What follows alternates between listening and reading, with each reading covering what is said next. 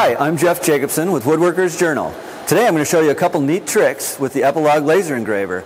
A coworker of mine brought in this double cross and he was asking if I could engrave a message and their names on the upper cross.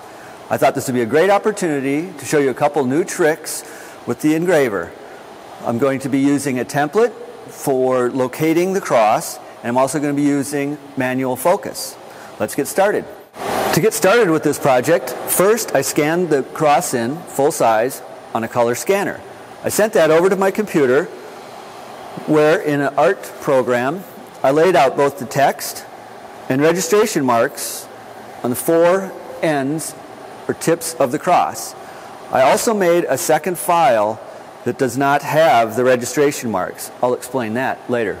The next step in the process is to make a substrate. In this case, just a thin piece of plywood that I'm going to engrave the first pattern onto, which includes the registration marks.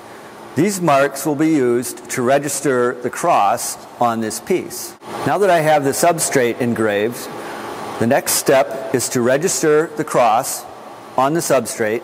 In this case, I'm going to be using a couple pieces of tape to just lightly hold it in position. Now that I have the cross taped to the substrate, the next step is to set the manual focus. This is needed because of the shape of the cross and we don't have a single flat surface to register to. Let me show you how that's done.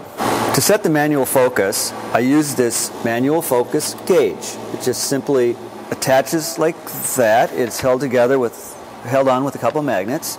Next, you raise the work surface up and using a piece of paper, we simply set it to where there's just a little friction right there. Hit reset and the focus is set. Now with the focus set, I remove the gauge, close the lid, and start the program.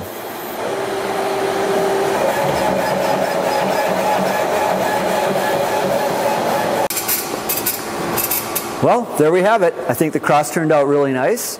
Today I showed you how to use a template to align text on a curved object, and I also showed you how to use the manual focus. I'm Jeff Jacobson with Woodworkers Journal. Thanks for watching.